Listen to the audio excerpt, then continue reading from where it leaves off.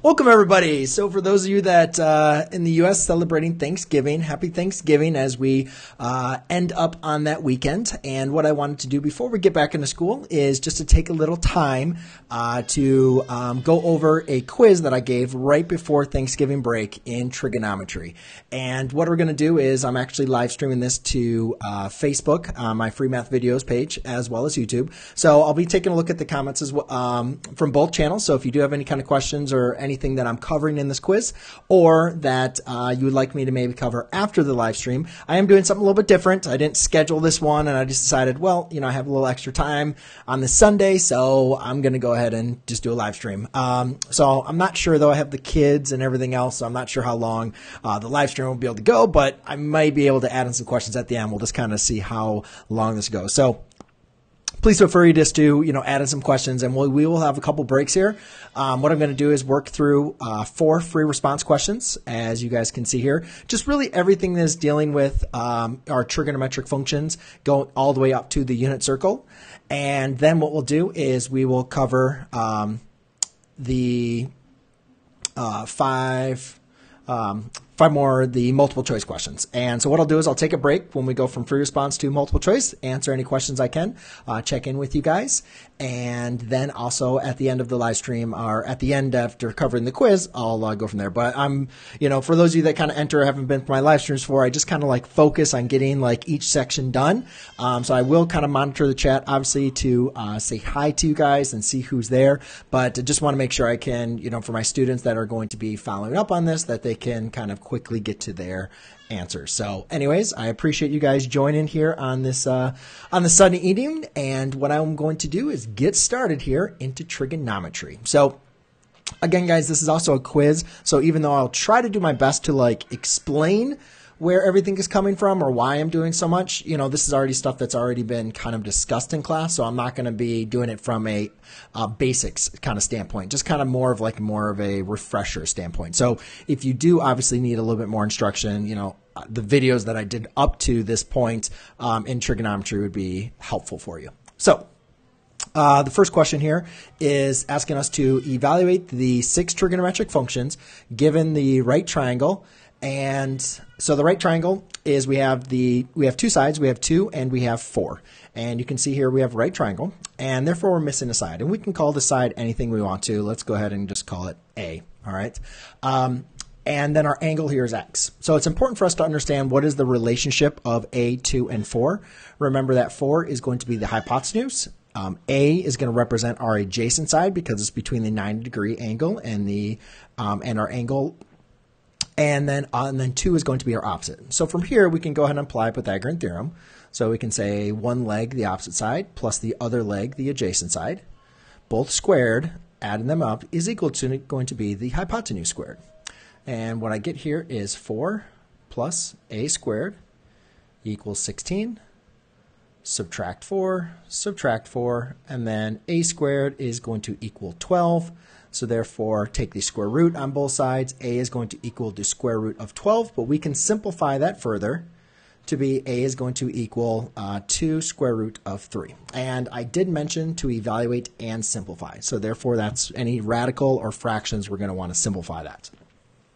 Um, now, the next thing that we want to make sure as we cover is again, this is just a triangle, right? So we're just measuring all these lengths of the triangle. So it doesn't make sense for us to include the plus or minus here. It's just always going to be positive values. Um, now we're just going to evaluate the six trigonometric functions. I always like to start with the sine, um, sine, cosine, tangent. And again, if you don't remember those, I'm not going to rewrite them because that's something that we've already done multiple times. So I'm just going to use the SOHCAHTOA just to, so just kind of a reference. So when you hear me say sine opposite over hypotenuse, then you know, oh, okay, cosine adjacent over hypotenuse, got it. Tangent opposite over adjacent. So let's talk about the sine of x because that is our angle that we are referring to. It's the sine of x. So that's going to be the opposite over the hypotenuse. So I'll write the original form, the original ratio, I should say, and then the simplified version. The cosine of x is going to be our adjacent side, which is now going to be 2 radical 3. So that will be 2 radical 3 over 4. And then again, that can simplify to the square root of 3 over 2. And then we have the tangent of x, which is going to be opposite over adjacent. So that's going to be 2 over 2 radical 3. The 2's will divide out, and we're left with 1 over the square root of 3. And I've done plenty of examples in my class showing the rationalizing the radical. So that's going to leave us with the square root of 3 over 3 when you just multiply the top and bottom by the square root of 3 of 3. Um, so the next one is just going to be our reciprocal functions. So the cosecant of x, um, even though that is just hypotenuse over opposite, it's just easier to take the reciprocal of our of the sine function, which would be 2 over 1, which is just going to be 2. For the secant of x, um, I, I'll just go ahead and rewrite it with that reciprocal. So I'd have 2 over the square root of 3 and when I rationalize the denominator, I get 2 radical 3 over 3. And then I have the cotangent of x, which I'll just go ahead and take this reciprocal here. So that'd be 2 square root of 3 over 2. And those divide out, and we're just left with the square root of 3. So those were the answer choices, uh, or those are the answers that we were looking for uh, in this first question. Now, the second question is very similar, but it's different because the main thing that is different is I'm asking the same thing, but the important thing is now we have a constraint, meaning we just don't have a triangle that's in space. We now have a triangle that has, you know, some direction on its lengths of the triangle. So what we need to do is we need to draw a triangle where cotangent is less than zero. Now, understanding cotangent, as a reciprocal of tangent or which would be adjacent over opposite doesn't really help us understand when it's going to be negative. That's why when we looked at the um, when we looked at constraints, we looked at the another way to look at this was in terms of our x and y coordinates. So let's go ahead and just look at a quick little triangle. Cotangent is going to be less than zero. So if we looked at a triangle and we kind of thought about this as a point, then this would be like a y value, and that would be a negative x value. So this coordinate point here, will be negative xy. Like if you think about going to the left, then that side is now negative if we're on an x and a y axis, right? So let's pretend we have this triangle here. Well, the cotangent would be adjacent over opposite, which would be a negative. Now, what other quadrants could we have where it's going to be a negative, um, a negative cotangent? And the other example would be in the fourth quadrant. And again, the only, if you remember these triangles, this would be a positive x, but this is a negative y. All right, so now what we need to do, though, is determine like which triangle is correct because cotangent is negative either in the second as well as in the fourth quadrant. But out of those two, which one is going to be the correct triangle? Well, remember, sine, um, you know, we looked at a lot of different uh, representations here. Sine could be opposite over hypotenuse. We also represent it as sine over y over r, where r represents the hypotenuse. And you can see that this that one makes sense. If we had y over r, then 5 over 6. Like that makes sense. It doesn't make sense down here because 5, you can't have a 5 there. That's positive. It needs to be a negative. It would have to be a negative 5. So therefore, this triangle does not work. This is the only triangle that's going to work. And what's important about that is this triangle is in the second quadrant.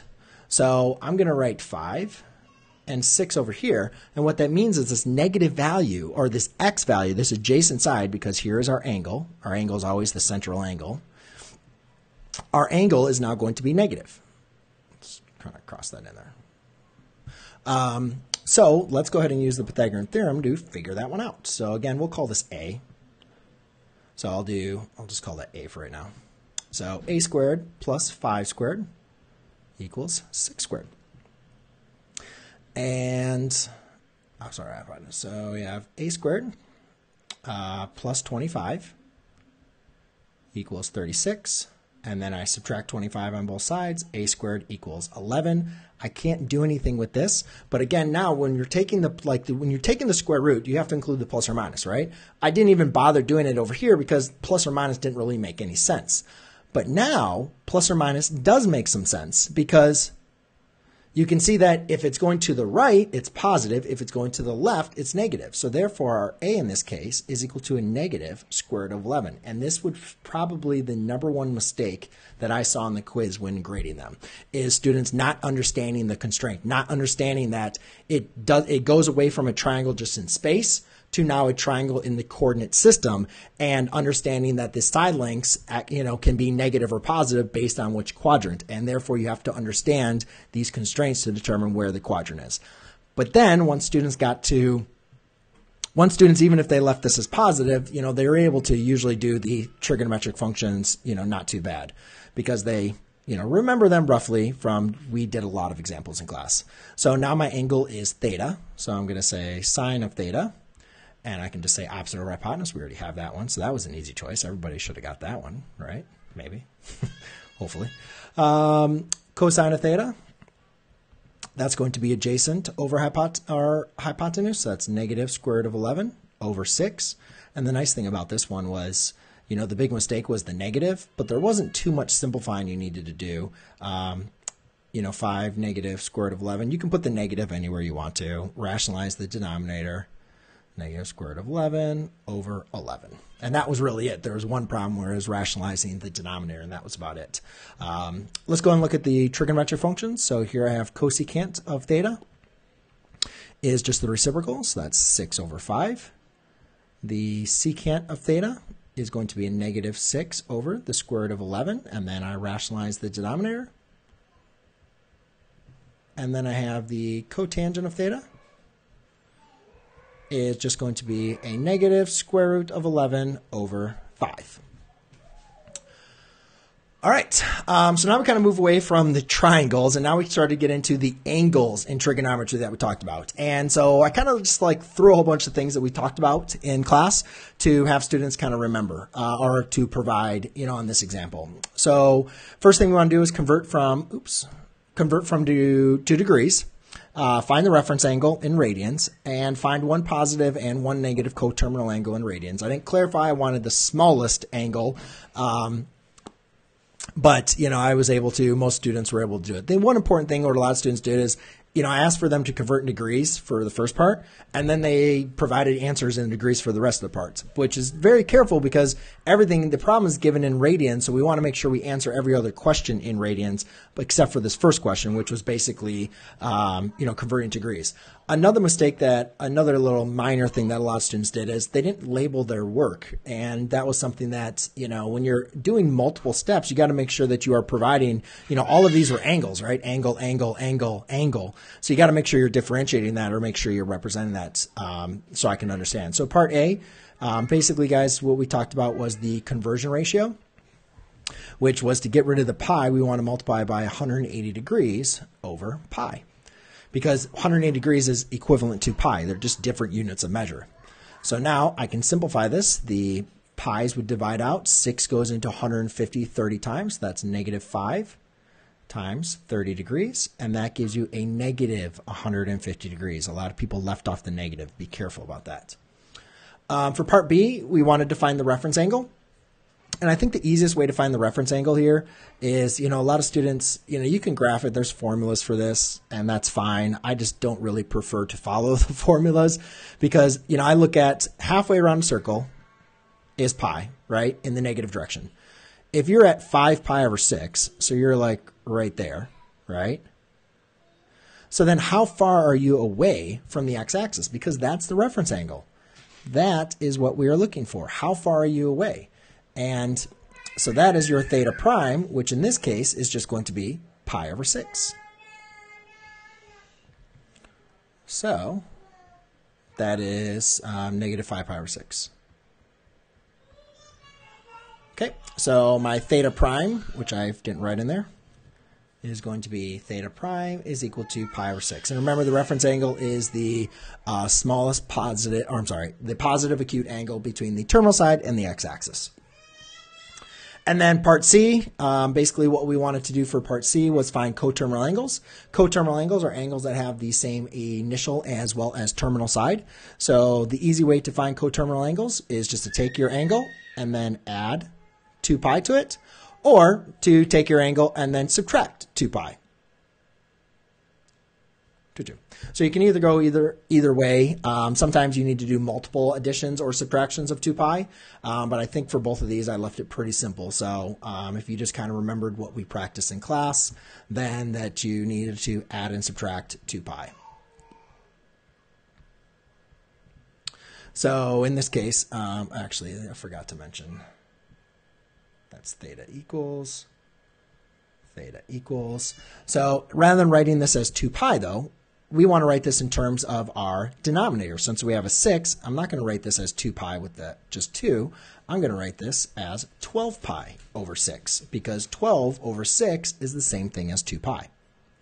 So therefore, um, I'll just go ahead and write my coterminal angles.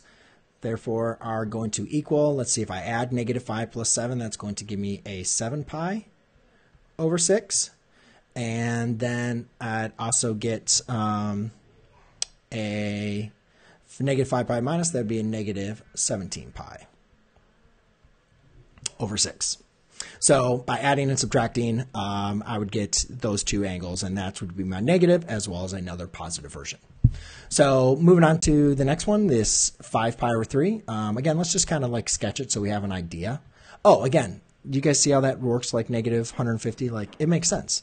5 pi over 3 is going to be in the positive direction. So right there is 3 pi over 3.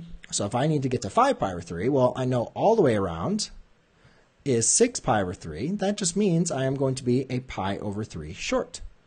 So that's what my angle would be. So I automatically know when I'm converting this to degrees, I know this is going to be between like 270 as well as 360. But let's just go ahead and do the work here and figure out what it is. So theta equals 5 pi, oops, 5 pi over 3 times 180 over pi. Obviously, the 3 is going to go into 180 60 times. Um, pi's divide out. 5 times 60 is going to equal 300. And you can see that makes sense as far as our angle in degree form. Um, to look at our reference angle, again, we're just looking for how far is it away from the x-axis. And again, our angle is 5 pi over 3. All the way around the circle is 6 pi over 3. So therefore, we can see the reference angle is just going to be pi over 3. And then the last part is again adding and subtracting 2 pi. But rather than adding it as 12 pi over 6, I'm going to want to add it in terms of 2 pi um, with a denominator of 3. So I'm going to take my angle as far as theta equals 5 pi over 3, and I'm going to add and subtract 2 pi in terms of thirds, which would be 6 pi over 3. And therefore, I am going to get uh, 11 pi over 3. And when I subtract, I'd also get a negative pi over 3. So those would be two coterminal angles. There's multiple different variations, right? Because you could continue adding 2 pi or subtracting 2 pi as many times as you can or as you need to. Um, so I had to look out for those answers. But I don't think any of my students were uh, were messing with me. So thank you very much uh, for not messing with me because, you know, technically I didn't clarify how I wanted those coterminal angles. So you could have gave me some pretty random answers and I would have had to accept it. But I don't think I remember how to check those. All right, so on the last question for the free response was talking a little bit um, about our angles and referring to the unit circle.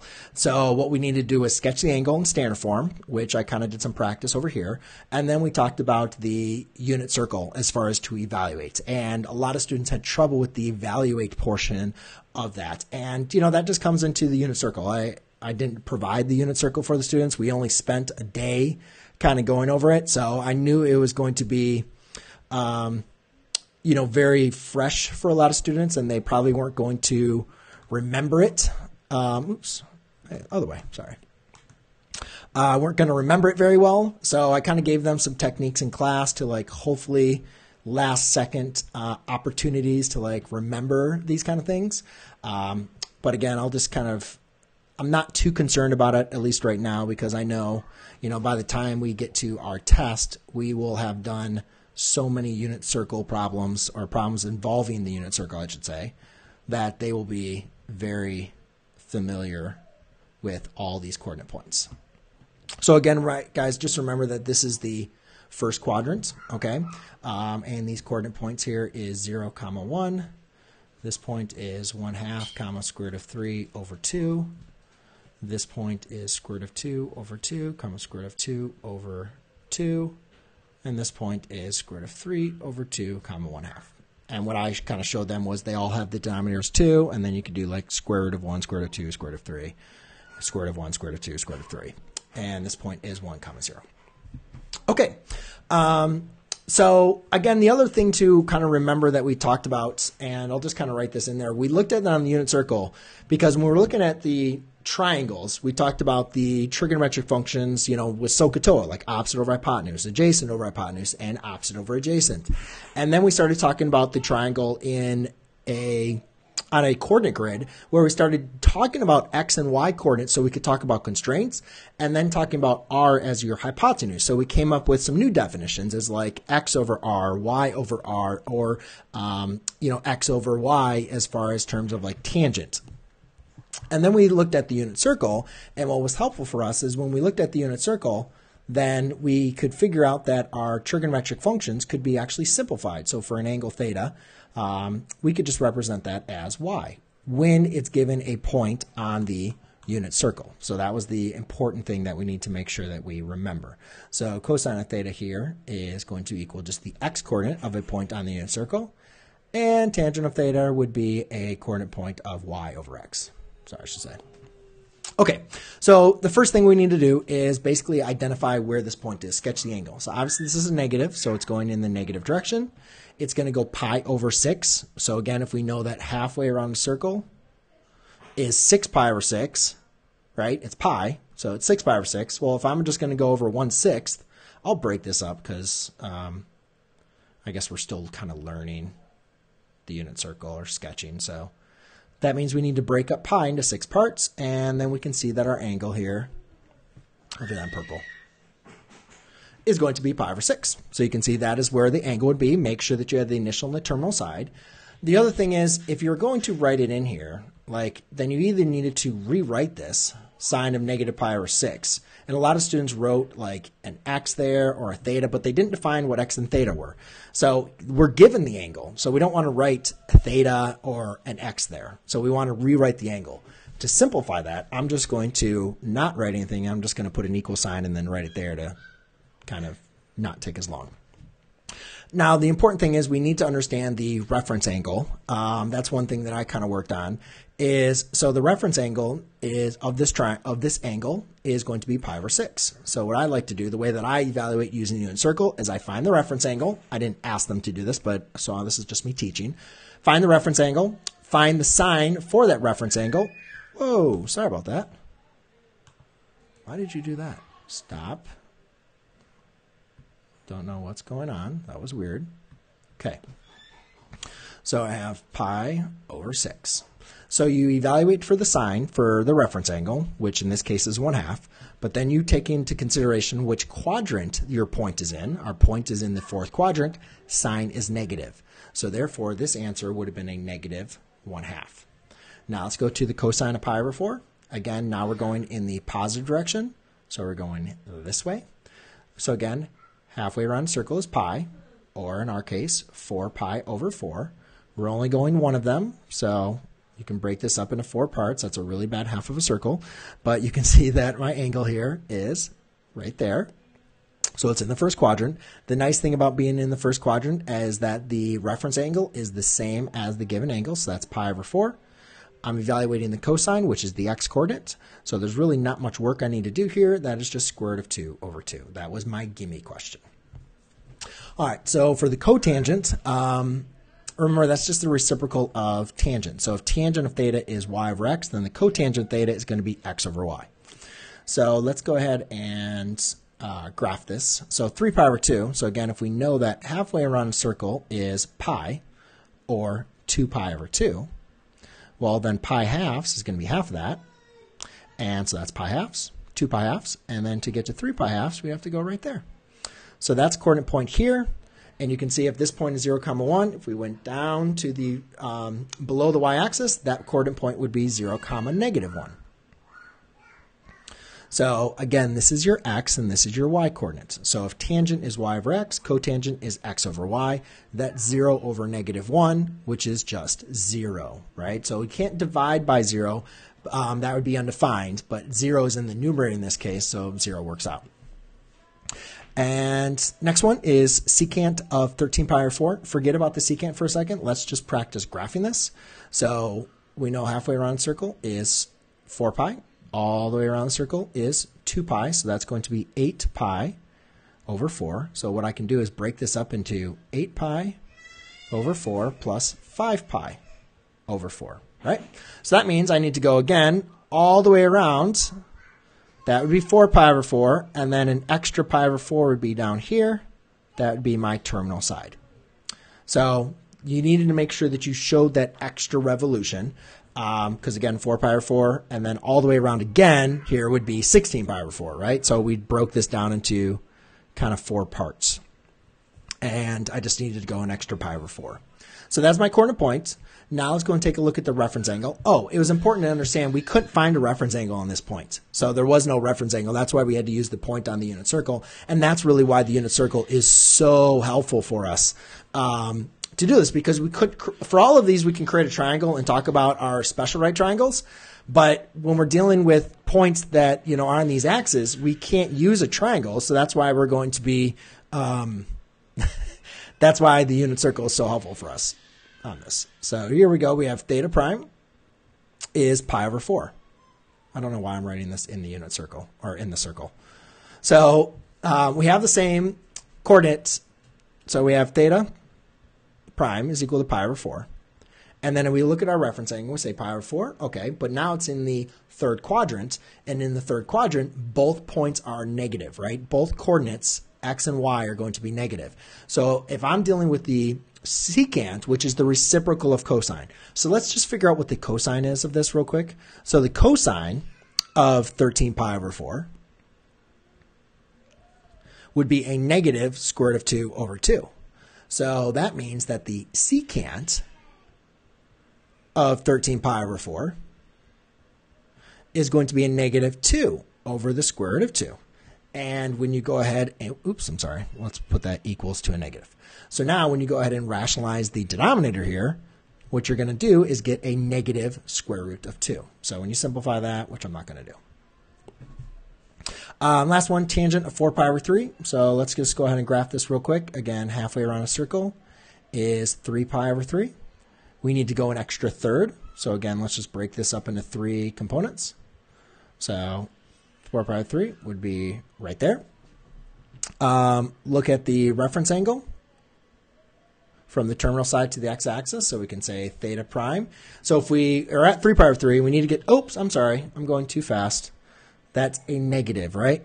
So let's redo that. That's very important. Okay, so let's do this again. It's in the negative direction. So we still have the same measurement. So that's still 3 pi over 3, but it's just in the negative direction, right? And then I'm going to go an extra third past that. So here's 3 pi over 3. I need to get to 4 pi over 3, so my angle will be right there. Now, the reference angle in this case is going to be from the x-axis to this terminal side. Again, I just went an extra pi over 3 over the x-axis. So we just say theta prime is equal to pi over 3. All right. Um, so now I look at my unit circle and I look at the reference angle for pi over 3. That's 1 half, or I'm sorry, the coordinate point here is 1 half comma square root of 3 over 2. However, it's in the second quadrant. So the coordinate point that I'm going to use is going to be a negative 1 half comma square root of 3 over 2. And this is very important for us to understand this because for tangent, remember that's y over x, right?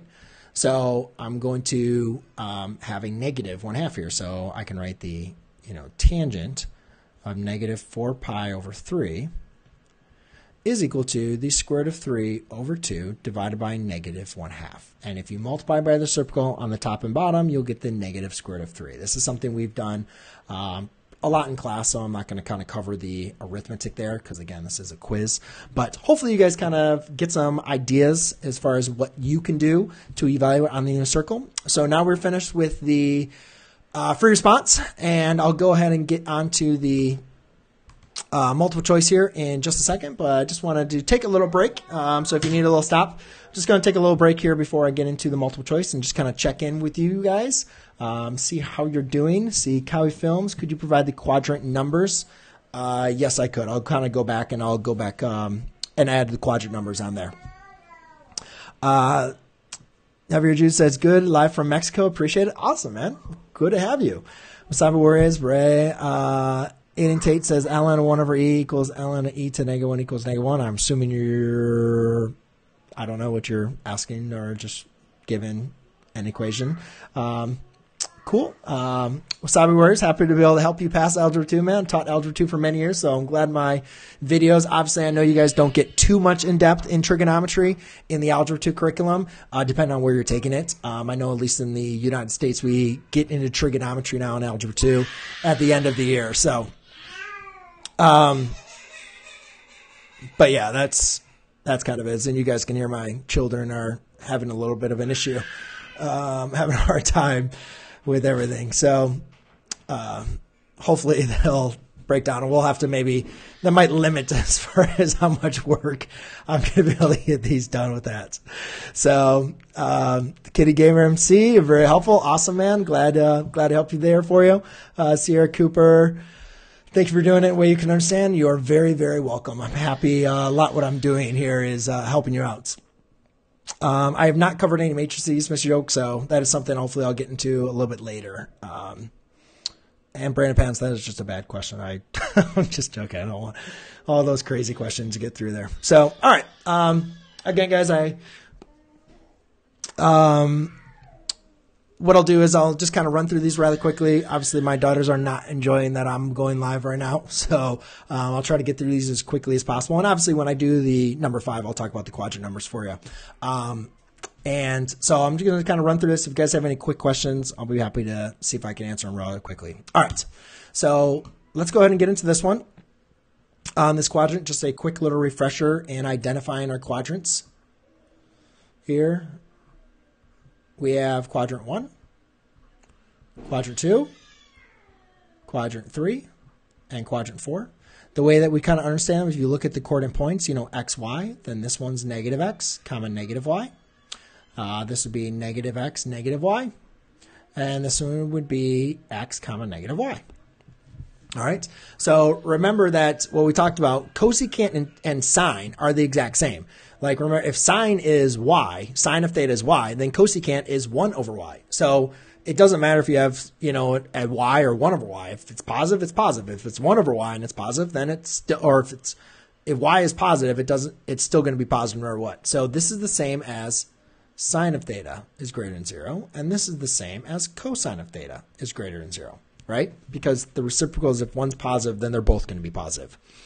So sine of theta is greater than zero. Well, that's only going to be true, which I wrote that wrong. That is only going to be true above the x coordinate, right? Because, or above the x-axis, I'm sorry, because you can see sine is representative y. You can see it's positive in the first and the second quadrant. So, so far I have these two. Oops, let's do it in a, another color. And then I'm looking at cosecant of theta. Well, that's only going to be positive in the a cosine sine of theta. And then cosine is only going to be positive in the um, in the first or in the second, right? Because you can see that x has to be positive, and that's only going to be positive in the first or second. So you can see that our winner is quadrant one, which is answer D. The next one is sine of theta equals negative 7, square root of negative 7, or negative square root of 7 over 4 and cosine of theta equals 3 over 4. Find the cotangent. Again, we got to be careful with this negative. Now, again, that's not going to apply to the 4 because the 4 represents the hypotenuse, right? Sine is opposite of hypotenuse. Cosine is adjacent over hypotenuse. So let's just go ahead and draw a triangle here. Cosine's positive, sine is negative. It doesn't really matter what you, um, how you, how you draw the triangle, but I know that that quad, that would be in the, um, fourth quadrant if I was going to be doing that one, and that would be 4. So again, here would be my angle. So again, you can check cosine 3 over 4, sine negative square root of 7 4. But you don't really need to know this information. Um, you could just understand that cotangent is going to be adjacent over opposite. So that would be, um, so I can say cotangent of theta is 3 over negative 7. And then when I rationalize the denominator, I get negative 3 over 7 over 7, which is answer D. Um, so again, this would be understanding this on the quadrant axis because that negative tells us that it's, you know, direction matters. For number seven, which of the following angles is coterminal with negative 245? So previously on the uh, on the front side, we talked about adding plus or minus 2 pi. Um, in degree form, that's the same thing as adding and subtracting uh, 360. So if I add 360 here, you can basically just say, you know, 360 minus 245, which is really the same thing, and we're get, get at 115 degrees. Got two more questions. Two more questions. Um, and obviously that one works, right? So I don't really, I mean, if I add 360 again to that to get another one, I'd get 475, which is not a angle. You know, that's not even an answer choice. So as long as I just double check my work here, I can see that I'm good. The answer again is D. Uh, for number eight, if uh, theta is an angle in standard position whose terminal side passes through the point negative 5, 3, then the value of sine of theta is. So this one's very, very important. Um, again, we didn't talk about a point on the first side, but so that's why I had to choose this one. So if we're at a coordinate point, negative 5, 2, 3, 4, 5, 1, 2, 3. So we have negative 5, and we went up 3, right? So there's your coordinate point, negative 5, 3.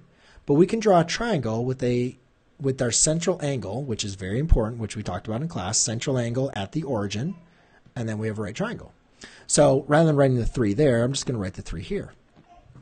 So we can see here we have the um, opposite as well as the adjacent side of the triangle. Well, to figure out sine, I need to figure out the hypotenuse. So I'll just do a 3 squared plus a negative 5 squared equals, I'm going to call this r, because that's what we talked about. So that would be 9 plus 25 equals r squared. Therefore, we have 34 equals r squared. So r is equal to the square root of 34. Well, obviously, any answer that has a square root of 34, since we can't simplify it, you can see the answer is e. But again, let's just go and take a look at that. That sine of that would be opposite over that. So it'd be 3 over the square root of 34. And you can see that that when you rationalize the denominator, you get answer e. All right, last one is intersects a unit circle. Okay, so let theta be an angle in standard position. The terminal side of, of theta intersects a unit circle at negative 2 fifths, negative 2 fifths, comma, square root of 21 over 5. Now, this isn't a point that we've talked about on the unit circle, but it's important that since we know it's a point on the unit circle, and this is something I added in um, on there, I don't know why I didn't get in the quiz, so I added to my students, so I'm not just like making it up. But since we know this is a point on the unit circle, we know that like we can represent those as x and y points on the unit circle. And what's important about that is when we're evaluating the cotangent of an angle for a point on the unit circle, we just know that it's going to be the ratio of x over y. So all we needed to do in this case is just take negative 2 over 5 and divide it by the square root of 21 over 5. Now, if you don't know how to simplify this, you can uh, multiply by the reciprocal on the top and bottom, which I guess I'll just show here. Um, there are some simpler ways to like do this. All right, but when you multiply by the reciprocal in the denominator, that obviously go to makes the denominator over here 1. Here, the 5s divide out, and you're left with a negative 2 over the square root of 21. We don't need to write this over 1 anymore, so you can just write this as negative 2 over the square root of 21 and then you can rationalize the denominator to get negative 2. Oh, well, again, you don't need to rationalize the denominator because you can see the answer is D right there.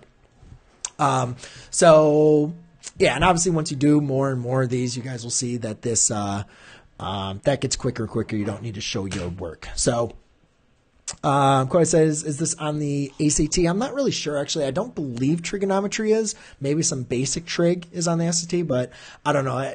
SAT, ACT prep is not really something that I cover. I have taught a class where we did some of that stuff, um, but it's just not something I focus on, you know, for me. So, um, okay. What class is this for? This is for pre-calculus. That is the class I'm learning uh, this for. So Blake says negative xy. Yeah, I think I made. Um, I think I fixed that though, right? Quadrant two. Yeah, negative xy. So I fixed that. Thank you for checking me on me though, because I was going a little bit fast. Um, and that's what happens when you go a little bit fast. You start making you know some mistakes. So wow, that's a lot of REITs. Okay, so I'm glad I checked in with you guys.